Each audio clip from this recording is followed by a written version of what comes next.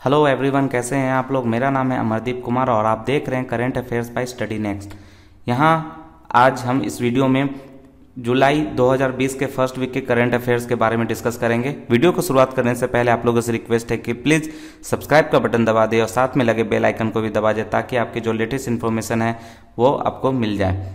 तो वीडियो को शुरुआत करते हैं पहले क्वेश्चन से। हमारा पहला क्वेश्चन है which government has decided to launch mega plantation campaign पौधे लगाओ, पर्यावरण बचाओ। किस सरकार ने एक मेगा वृक्षारोपण अभियान पौधे लगाओ, पर्यावरण बचाओ को लॉन्च करने का निर्णय लिया है? हमारे ऑप्शन है झारखंड, बिहार, दिल्ली, हरियाणा। इसका सही आंसर है दिल्ली। इसका सही आंसर है दिल्ली। ओके तो दिल्ली के बारे में हम जानकारी लेते हैं। दिल्ली के चीफ मिनिस्टर है अरविंद केजरीवाल इन्वायरमेंट मिनिस्टर है गोपाल राय लेफ्टिनेंट गवर्नर है Anil Baijal deputy chief minister है मनीष सिसोदिया। यह अभियान 10 जुलाई 2020 से 26 जुलाई 2020 तक जारी रहेगा। इस अभियान के तहत 17 दिनों में 31 लाख पौधे लगाए जाएँगे। 31 लाख पौधों में से 20 लाख पौधे बड़े पेड़ों के होंगे, जबकि शेष 11 लाख पौधे झाड़ियों के होंगे। जो सड़कों के दोनों ओर लगाए जाएँगे। राष्ट्रीय राजमार्ग 20 में आईटीओ के पास यह अभियान चलाया जाएगा। दिल्ली सरकार के पर्यावरण मंत्रालय ने 2021 तक साढ़े तीन किलोमीटर के ग्रीन कवर का लक्ष्य रखा है। यह 2017 में दो किलोमीटर स्क्वायर था। 2019 में यह 325 किलोमीटर स्क्वायर था। बढ़ते दूसरे क्वेश्चन की तरफ़। When will postal worker day and posted stamp day has been celebrated. यानी राष्ट्रीय राज डाक कर्मचारी दिवस किस दिन मनाया जाता है? पहला, फ़र्स्ट जुलाई, दूसरा थर्ड जुलाई, तीसरा पाँच जुलाई, चौथा सात जुलाई। इसका सही आंसर है फ़र्स्ट जुलाई। आइए इसके बारे में और जान करते हैं। यह हर वर्ष एक जुलाई राष्ट्रीय डाक कर्मचारी दिवस मनाया जाता है। भारत में 1977 में भारतीय डाक सेवा से जुड़े लोगों को सम्मान देने के लिए इस दिन को मनाने की शुरुआत हुई थी। यह एक अक्टूबर अठारह में डाक सेवा की शुरुआत हुई थी भारत में। भारत में कोलकाता में सत्रह सौ चौहत्तर में पहले पोस्ट ऑफ़िस की स्थापना की गई थी। भारत में 20 अगस्त उन्नीस सौ इक्यानवे को सबसे बड़ा डाक टिकट भारत के पूर्व प्रधानमंत्री राजीव गांधी पर जारी किया गया था। 9 अक्टूबर को विश्व डाक दिवस मनाया जाता है। बढ़ते अगले क्वेश्चन की तरफ़। Which nation has launch a new spice satellite किस राष्ट्र ने एक नया जासूसी उपग्रह लॉन्च किया है? हमारे ऑप्शन है Israel Iran Turkey North Korea इसका सही आंसर है इसराइल जानते हैं इसराइल के बारे में। इसराइल का कैपिटल जेरूसलम है। ऑफिशियल लैंग्वेज हेब्रू है। वहाँ के लोग जेविस हैं, रिलीजन वहाँ का जुडाइजियम है, वहाँ के लोग इजरायली कहलाते हैं, प्रेसिडेंट रुवेन रिवलिन है, प्राइम मिनिस्टर बेंजामिन नेता अनुभव है, करेंसी वहाँ की न्यू शकील है। आइए जानते हैं इसराइल के रक्षा मंत्रालय ने 6 जुलाई 2020 को घोषणा की कि उसने सफलतापूर्वक नया जासूस उपग्रह लॉन्च किया है। पूरे क्षेत्र में कई खतरों पर नज़र रखने के लिए उपग्रह को एक अतिरिक्त उपकरण के रूप में काम करने की उम्मीद है। इसका नाम ऑफेक्स 16 रखा गया है। यह उपग्रह इजराइल एरोस्पेस इंडस्ट्री के साथ विकसित किया गया है। बढ़ते क्वेश्चन नेक्स्ट की तरफ़। Two time Olympic champion Lin Dan has retired from badminton. He hails from which nation दो बार के ओलंपिक चैंपियन लिन डैन ने बैडमिंटन से संन्यास ले लिया। वो किस राष्ट्र से हैं? China, Japan, South Korea, Malaysia. इसका सही आंसर है चाइना। यह आप देख सकते हैं, उनकी फ़ोटो है। आइए उनके बारे में जानते हैं। पाँच बार के विश्व चैंपियन लिन डैन ने बैडमिंटन से संन्यास लेने की घोषणा की। डैन के खेल के इतिहास में सबसे महान खिलाड़ियों में से एक माना जाता है। उन्होंने पाँच बैडमिंटन विश्व चैंपियनशिप खिताब और छह ऑल इंग्लैंड चैंपियन मुकुट जीते हैं, यानी क्राउन जीते हैं। उन्होंने कुल छह सौ छियासठ एकल खिताब जीते हैं। नेक्स्ट क्वेश्चन बढ़ते हैं। Which state launch Weaver Samman Yojana? बुनकर सम्मान योजना किस राज्य ने शुरू की? तेलंगाना, कर्नाटक, महाराष्ट्र, मध्य प्रदेश। आंसर है सही, इसका कर्नाटक। आइए कर्नाटक के बारे में कुछ जानकारी लेते हैं। इसके कैपिटल है बेंगलुरु, गवर्नर है Vajubhai Vala, chief minister B S Yediyurappa हैं, जो बीजेपी के हैं। यहाँ पर दो स्टेट लेजिस्लेचर है, विधानसभा, जिसकी 224 सीटें हैं, विधान परिषद, जिसकी 75 सीटें हैं। यहाँ लोकसभा की 28 सीटें हैं और राज्यसभा की 12 सीटें हैं। कर्नाटक के मुख्यमंत्री बी एस येदुरप्पा ने 6 जुलाई 2020 को बुनकर सम्मान योजना शुरू की। इस योजना के तहत राज्य सरकार लाभकारी अंतरण के माध्यम से राज्य में लगभग उन्नीस हज़ार सात सौ चौवालीस हथकरघा बुनकों को दो हज़ार रुपए की वार्षिक वित्तीय सहायता प्रदान करेगी। नेक्स्ट क्वेश्चन है हमारा। A suspected case of bionic plague has been detected in which nation bionic plague का संदिग्ध मामला किस राष्ट्र में पाया गया है? Japan, Germany, Brazil, China. तो इसका सही आंसर है चाइना। ये इंटर मंगोलिया एरिया में पाया गया है। ये सात जुलाई को चीन में ब्योनिक प्लेग नामक बीमारी का एक नया मामला देखने को मिला है। इसके बाद पूरे चीन में थर्ड लेवल का अलर्ट जारी कर दिया गया है। यह एक ऐसी खतरनाक बीमारी है जिसके कारण एक समय में यूरोप के करोड़ लोगों की जान चली गई थी। चीन के इनर मंगोलिया क्षेत्र के बायनूर शहर में ब्योनिक प्लेग का पहला मामला देखने को मिला है। ब्योनिक प्लेग एक ऐसी बीमारी है जो बैक्टीरियल इन्फेक्शन के कारण होती है। यह एक बैक्टीरिया इन्फेक्शन है, न कि वायरस। इसलिए इसका इलाज एंटीबायोटिक दवाओं के ज़रिए संभव भी है। बैनिक प्लेग नाम का यह संक्रमण ह्यूमन टू ह्यूमन फैलता है। इस कारण यह और भी खतरनाक साबित हो सकता है। एक मरीज़ में इस बीमारी की पुष्टि होने के बाद एक अन्य व्यक्ति को भी ब्योनिक प्लेग से संक्रमित होने की बात कही जा रही है। यह एक विशेष प्रकार के जीवाणु यर्सिनिया पेस्टिस ये याद नाम रखिएगा। यर्सिनिया पेस्टिस से संक्रमित होने के कारण होता है। मानव शरीर में आमतौर पर यह बीमारी कुतरने के प्रवृत्ति को रखने वाले जानवरों के कारण फैलती है, जो कि आमतौर पर पिस्सों के संपर्क में आ जाते हैं। ये बियोनिक प्लेग की बैक्टीरिया का फ़ोटो है। नेक्स्ट क्वेश्चन हमारा। Who has recently taken over the chairman of Indian Oil Corporation Limited Indian Oil Corporation Limited के अध्यक्ष का पदभार हाल में किसने संभाला? श्रीकांत माधव वैद्य ने, इंद्रमणि पांडे ने, सुमित नागपाल ने नन ऑफ़ द एव इनमें से कोई नहीं। इसका सही आंसर है श्रीकांत माधव वैद्य। ये उनकी फ़ोटो है। आइए उनके बारे में जानते हैं। श्रीकांत माधव वैद्य, देश की सबसे बड़ी तेल कंपनी इंडियन ऑयल कॉरपोरेशन के नए चेयरमैन होंगे। श्रीकांत माधव आने वाली एक जुलाई को कार्यभार संभालेंगे। उनका कार्यकाल 31 अगस्त 2023 तक का होगा।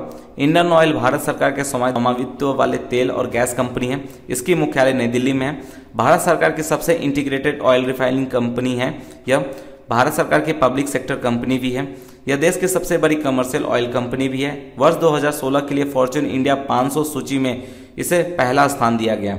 वर्ष 2019 फॉर्चून ग्लोबल के अनुसार दुनिया की सबसे बड़ी कंपनियों में से इसकी सूची 500 में से 117वीं रही है। जुलाई 2020 को सरोज खान का निधन हो गया, वह थी musician, actress, choreographer, fashion designer. इसका सही आंसर है कोरियोग्राफर। इनकी ये फ़ोटो है, आप देख सकते हैं। आइए उनके बारे में जानते हैं। प्रसिद्ध बॉलीवुड कोरियोग्राफर सरोज खान, जिनका जन्म नाम है निर्मला नागपाल 3 जुलाई 2020 को निधन हो गया। वह इकहत्तर वर्ष की थी। उनका जन्म 20 नवंबर 1948 को महाराष्ट्र में हुआ था। उन्होंने अपने कैरियर में 3000 से अधिक गाने कोरियोग्राफ किए हैं। उन्हें गीता मेरा नाम 1974 में एक स्वतंत्र कोरियोग्राफर के रूप में ब्रेक मिला। उन्हें मिस्टर इंडिया उन्नीस सौ सतासी के गाने हवा हवाई से अपार लोकप्रियता मिली। उनकी आखिरी फ़िल्म कलंक 2019 की में थी, जिन्होंने, जिसमें उन्होंने माधुरी दीक्षित के गाने को कोरियोग्राफ किया था। सरोज खान तीन अवार्ड्स के साथ सर्वश्रेष्ठ कोरियोग्राफी के लिए सबसे अधिक राष्ट्रीय फ़िल्म पुरस्कार प्राप्त करने वाली थी। बढ़ते हैं नेक्स्ट क्वेश्चन की तरफ़। Who has won Russian electrode and will become president until 2036 इनमें से किसने रूसी चुनाव जीता और 2036 तक राष्ट्रपति रहेंगे? हमारे ऑप्शन है Vladimir Putin, Mikhail Mishustin, Andrey Belousov, Viktoria Abramchenko. तो इसका सही आंसर है वाल्मीदिर पुतिन। आइए हम बढ़ते हैं इसके बारे में, डिटेल्स जानते हैं। सतहत्तर पॉइंट नौ परसेंट रूसी वोटर्स ने संवैधानिक संशोधन के पक्ष में मतदान किया, जो सड़सठ वर्षीय राष्ट्रपति वाल्मीदिर पुतिन को 2036 तक सत्ता में बने रहने की अनुमति देगा, यानी तिरासी साल की उम्र तक। छह साल का उनका वर्तमान कार्यकाल 2024 में समाप्त होगा। संवैधानिक संशोधन के तहत उन्हें दो बार फिर से चुना गया है। वो पहले से ही आधुनिक रूसी इतिहास में सबसे लंबे समय तक सेवा देने वाले नेता हैं।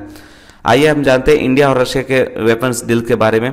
डिफेंस एक्वाजिशन काउंसिल यानी DAC chair by union minister of defence approve 38,900 crore for the weapon purchase and upgradation deal 21 MiG 29 fighter jets for the Indian Air Force upgradation of existing 59 MIA MiG-29 and acquisition of 12 Sukhoi 30 MKA fighter jets, यानी defence acquisition council और Russia के साथ मिलकर अड़तीस हज़ार नौ सौ करोड़ रुपए का डिफेंस डील साइन हुआ है, जिसमें से 21 मिग 29 फाइटर इंडियन एयरफोर्स को मिलेगा और 59 मिग 29 फाइटर्स जेट फाइटर्स को अपग्रेड होगा और 12 सुखाई 30 को एक्वाजिशन होगा। आइए जानते हैं थोड़े रशिया के बारे में।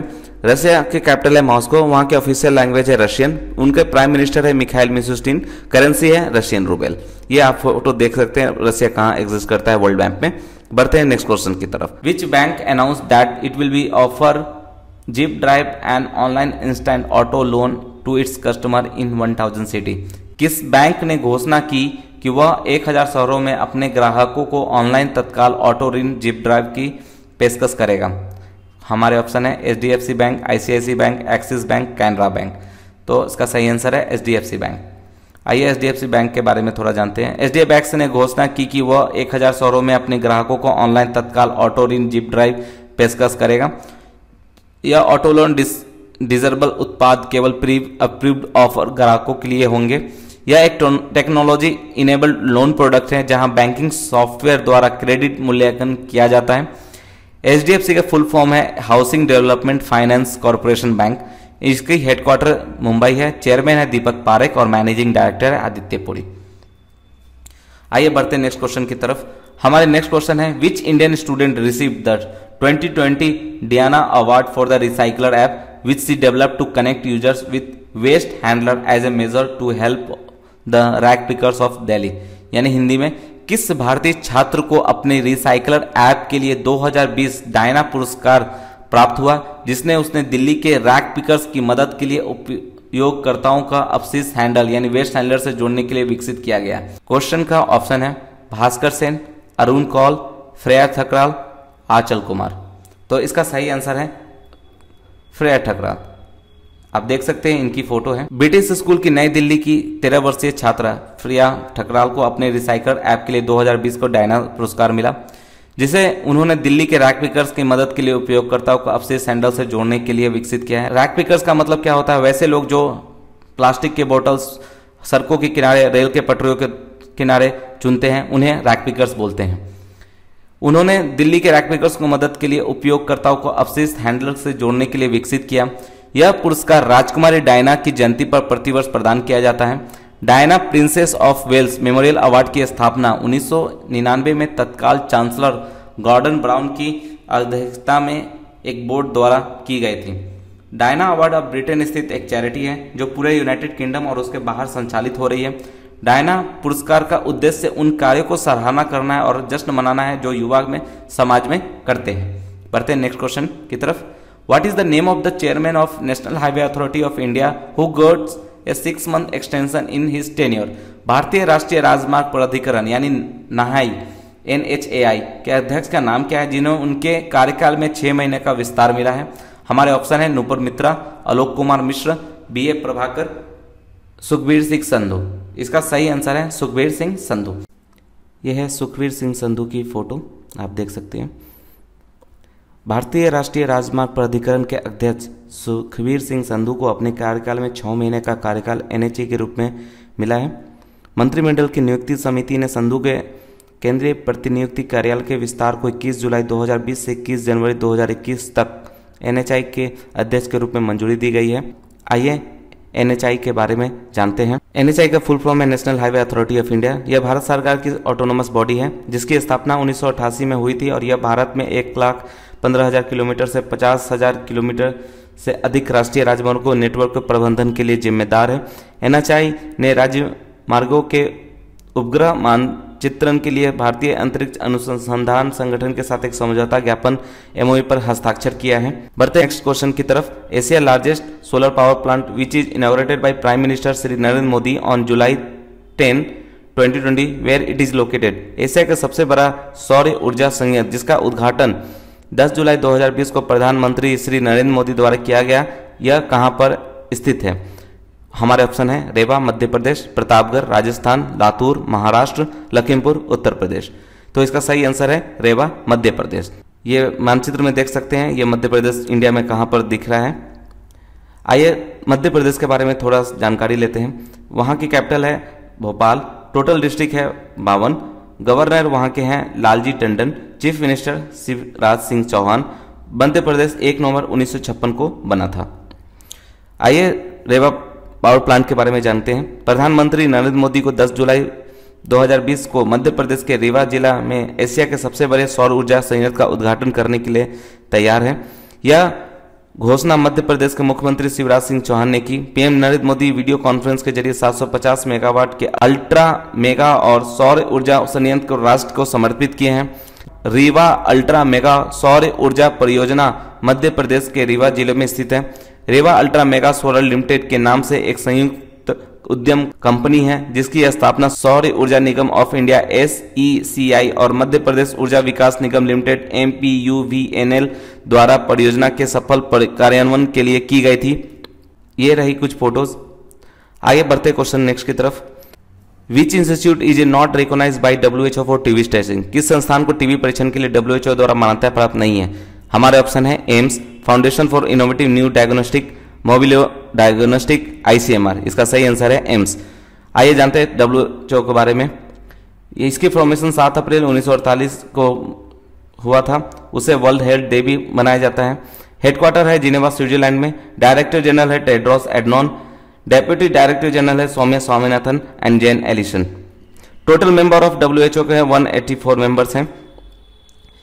आइए इसके बारे में थोड़ा जानते हैं। विश्व स्वास्थ्य संगठन टीबी का प्रारंभिक अवस्था में पता लगाने और उसकी प्रमुख दवा के प्रतिरोधक क्षमता का आकलन करने के लिए भारतीय चिकित्सा अनुसंधान परिषद आईसीएमआर समेत तीन संस्थानों की तरफ़ से किए जा रहे जाँच का समर्थन किया है। तीनों अनुसंधान संस्थानों ने कहा कि उनकी टीबी की शुरुआत में पता लगाने हेतु रैपिड मॉलिकुलर ऐसे जाँच और साथ ही वयस्कों व बच्चों में रिमाफिन प्रतिरोधक का पता लगाने की उनकी जाँच का डब्ल्यूएचओ ने समर्थन किया है। रिफामसिन टीबी के इलाज में सामान्य तौर पर इस्तेमाल की जाने वाली दवा है। ट्रेंट एक नई तरह की जाँच प्रक्रिया है, जिसमें तेज़ी से टीबी और रिमेफेसिन प्रतिरोधक की पहचान होती है। इसमें तीन तरह के जाँच के नतीजे आधे घंटे से भी कम समय में आ जाते हैं। आईसीएमआर के अतिरिक्त अन्य दो संस्थान foundation for innovative new diagnostic यानी एफ़ और मॉलबियो डायग्नोस्टिक हैं। आइए बढ़ते हैं नेक्स्ट क्वेश्चन की तरफ़। World bank approves USD 400 million for rejuvenation of which Indian river विश्व बैंक ने किस भारतीय नदी के कायाकल्प के लिए 400 मिलियन अमेरिकी डॉलर की स्वीकृति दी है? हमारे ऑप्शन है यमुना, गंगा, गंडक, कावेरी। इसका सही आंसर है गंगा। आइए गंगा के बारे में थोड़ा जानते हैं। गंगा का सोर्स है गंगोत्री ग्लेशियर जो कि उत्तराखंड में पड़ता है। इसका यह बे ऑफ़ बंगाल में मिल जाती है। इसकी टोटल लेंथ है 2704 किलोमीटर। यह पाँच स्टेट्स में मिलकर बहती है। Uttarakhand, Uttar Pradesh, Bihar, Jharkhand and waste Bengal. यह देश की सबसे बड़ी नदी है। इसके लेफ़्ट ट्रिब्यूटरीज इसके हैं। करनाली, महाकाली, गंडक, कोसी, घाघरा और दामोदर। इसके राइट ट्रिब्यूटरीज है यमुना सोन महानंदा, चंबल। ये देख सकते हैं गंगोत्री की फ़ोटोज़ है। और ये गंगा कहाँ से कहाँ तक जाती है इंडियन मैप में। आइए जानते हैं थोड़ा विस्तृत। विश्व बैंक ने एक बयान जारी करके यह कहा कि इस सहायता से नदी बेसिन के प्रबंधन को मज़बूत करने में मदद मिलेगी, जो लगभग 500 मिलियन लोगों का घर है। बैंक वर्ष 2011 से चल रही राष्ट्रीय गंगा नदी बेसिन परियोजना के माध्यम से इस परियोजना के लिए भारत सरकार के प्रयासों में मदद कर रहा है। इसने नदी के प्रबंधन के लिए एक नोडल एजेंसी के तौर पर राष्ट्रीय स्वच्छ गंगा मिशन एनएमसीजी स्थापित करने में भी मदद की है। यह परियोजना सरकार के नमामि गंगे कार्यक्रम के साथ ही गंगा नदी में प्रदूषण नियंत्रण के दीर्घकालिक सरकारी योजना के साथ साथ जल की गुणवत्ता को बहाल करने में भी अपना महत्वपूर्ण योगदान देगी। विश्व बैंक के country director India Junaid Ahmed ने यह भी बताया कि पहली विश्व बैंक के परियोजना के तहत गंगा नदी के किनारे विश्व प्रदूषण वाले हॉटस्पॉट्स में महत्वपूर्ण सीवेज इंफ्रास्ट्रक्चर के निर्माण में मदद की गई और दूसरे परियोजना इसे सहायक नदियों तक पहुँचाने में मदद करेगी। अगर वीडियो आपको अच्छा लगा तो प्लीज़ लाइक करिए, सब्सक्राइब करिए और बेल आइकन दबा दिए मिलते हैं अगले वीडियो में। तब तक के लिए गुड बाय। Thank you